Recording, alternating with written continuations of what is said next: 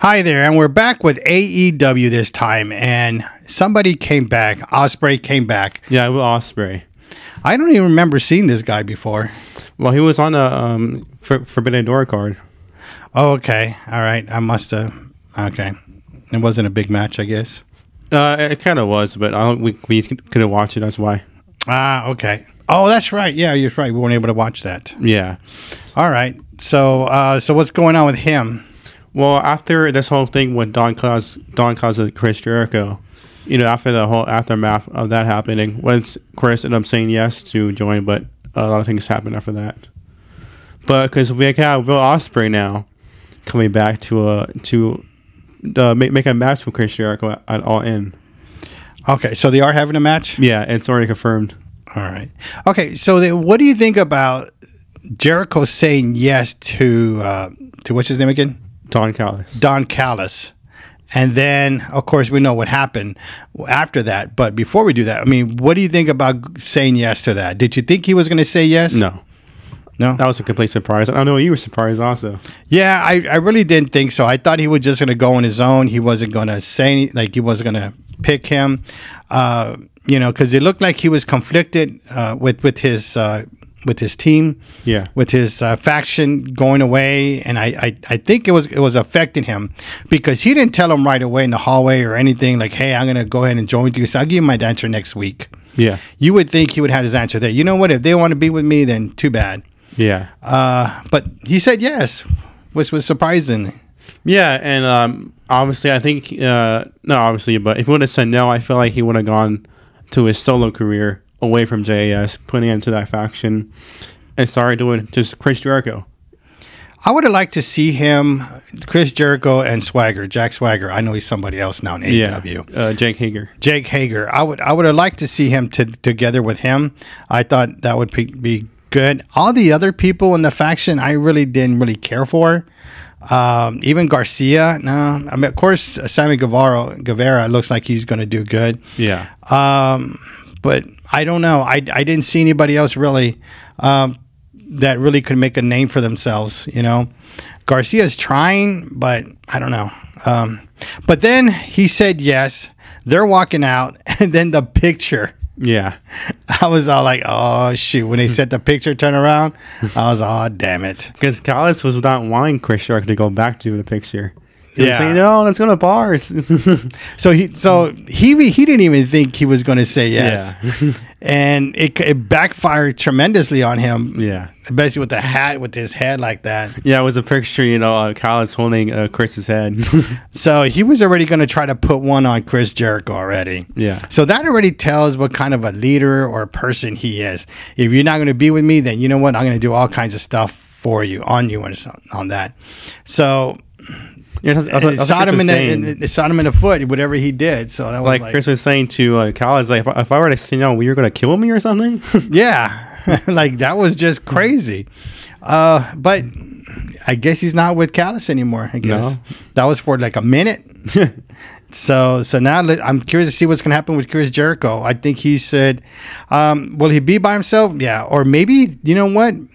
Maybe this is time when his uh, when his rock band's going to go back on concert. Maybe they're going to go on tour. Maybe he's going to stop for a while. yeah, because I think they they've been on tour. Like they stopped touring for a little bit because they were on tour like earlier this year. I think. So, but this is the time for all those festivals. They they start coming on Yeah, I know Blue Ridge is going to be coming uh, and doing a festival. because in the summer you can, but it's too freaking hot no matter where you go.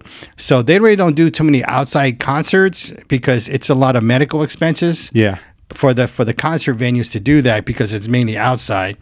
So I, I think now maybe this is the time that they're going to do it.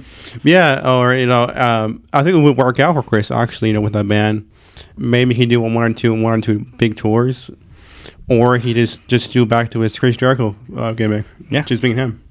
I'm curious to see, but I'm also curious to see um, Adam Cole with uh, MJF, Yeah, and uh, and they went to Outback and they got full. you know, seeing that uh, that the bro session they, they call it. I kind of want to go to Outback now and try it. Uh, no, no, that's too much. Too much. I'm sure we could do it like one time. Maybe just me and you, nobody else, because then that bill gets too high. Like, I don't know about that. Uh, and then uh, let's see. So then they had a promo together, didn't they? Yeah. In the ring.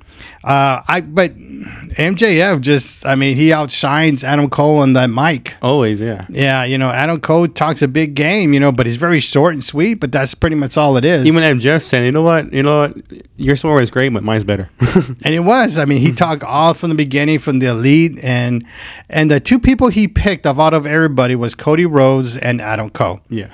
Um, I get that, but you know what? It goes back to a generation thing Yeah. because his for his age, his generation, it only goes back so far.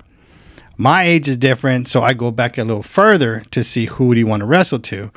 But obviously he can't because they're older now and they're retiring. So I'm just trying to see about generational uh, icons for wrestling at that time. Yeah. But one thing I want to point out is during that bro session when uh, Tony Khan got mad at uh, both of them, MJF and Cole, was when uh, afterwards MJF was saying, you know, Tony's gonna regret that come like come 2024. Oh, that's right, because supposedly his con- his concert, his contract is up. Yeah, and this is where the bidding wars of 2024 come in, and it's a big thing. I, I can't wait till 20 uh, till this year hits uh, ends. So, what do you think? You think uh, MJF will go to? WWE? Well, it's actually three choices he has. He can go with Hunter with his company, resign with Tony, or go to Hollywood. So it's just what he wants to do, basically. I don't know if he's ready for Hollywood yet. I don't think he'll go to WWE. I think he's in his chase stay true to his brand AEW because realistically this was his shot in which is what 3 or 4 years ago Yeah. and he's just still exploring all that. So I don't see why you would ruin it. I mean, I I'm, I'm not him. I mean, but um, LeBron James did it. You know, he he got he got into this thing and then he just jumped and he keeps jumping right Yeah, now. because I mean, LeBron, it's just like like every two years or so, he just jumped to a different team. You know, I mean, from the way beginning from the Heat to now. so I don't know. We'll see. I I don't see him moving on, but you never know. Like they say, never say never. yeah, so, but uh, what do you think about that uh, Adam Cole when he was on the like squatting down? Yeah, I- see, he keeps doing that. He keeps trying to like make us think like he's going to do something, but then he changes his mind or something. Or is he really thinking about this? Like he's really trying to turn on MJF. But I don't see why he would do that because MJF is really taking him under his wing and giving him the popularity. Yeah, because Adam Cole is is only over because of MJF. So, but I mean, I started liking Adam Cole when he was MJF. Before that, I was like, eh, Adam Cole. Like, I really didn't care too much about him, you know, as a wrestler and so forth. I'm sure his accolades are good and all that, but you know, I'm I'm always to me is what have you done for me lately Yeah. on on your shows. So that that's where I'm at.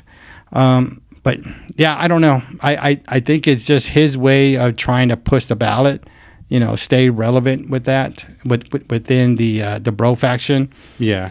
Because MJF could just outsign him. Oh, yeah, but- I mean, he, he just outplays him everything. because uh, you know, like you know, like MJF being MJF is just awesome. I like, I like. I mean, I'm a fan of MJF also, but I mean, yeah, he's he's, he's good at everything he does. I think, to be honest. Yeah, we'll see. So, what do you think about this massacre with Jeff Hardy and uh, Jeff Jarrett? Oh yeah, that was kind of weird man, the match. Well, I, I thought it was just going to be them two. You Yeah. know, I really didn't think there's like there was a chaos that came out of it. Uh, you know, everywhere. You know, I knew his uh, uh, Jeff Jarrett's wife or fiance, whatever she is, uh, was going to come out, but I didn't think all this other stuff. Yeah, because with uh, I think it was Roberts, one the announcer was saying uh, was saying that anything goes in this match.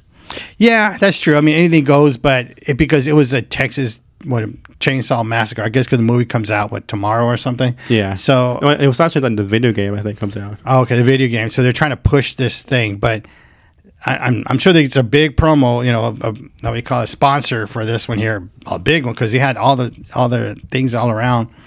But I don't know. I if it would have been Jeff Jarrett and Jeff Hardy, maybe one other person interrupting on each side. But after that, it was just complete chaos. Like it was just too unorganized and. I don't know. Too many things going on at once. Plus, I don't think Jeff Jarrett at his age should be even doing a donut Q match at all. To be honest, because that can take a toll on his body already. yeah, but I mean, if he could do it, why not? Yeah, we saw a different side of Sting on Dynamite with uh, the uh, what's it called what Swerve Strickland in his faction.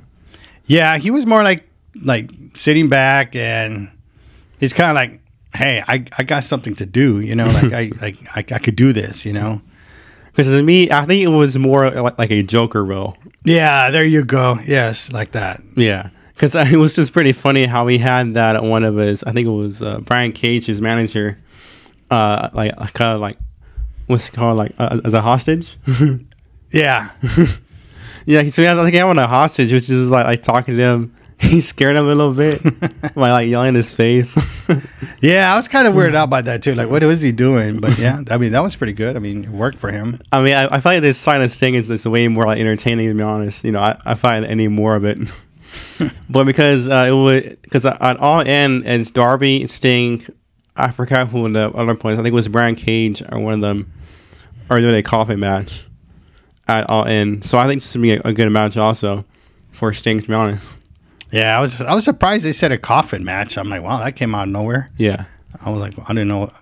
Like that was crazy. All right, I, I know we already talked about Chris Jericho, but what do you think about Sammy Guevara coming out at the end? Um, I think he's still trying to help out Chris Jericho. We know he knows he really shouldn't, to be honest. But I, I think cause I think he's just so close too close to Chris. I think he still wants to help him. Well, yeah, that's true. Uh, but okay, think about everybody in the faction. Who's the big name of the faction besides Chris Jericho that can take them places? Sammy or Jake? No, no, no, no. No, I know. I'm talking about Sammy Guevara. Oh, Like who else? Be, who else can take Sammy Guevara to a next level? oh no, I don't. Besides, besides Chris Jericho. Yeah, I don't think anybody. Be honest. Yeah, I mean, so that's why I'm thinking that's why he's trying to stay loyal to him.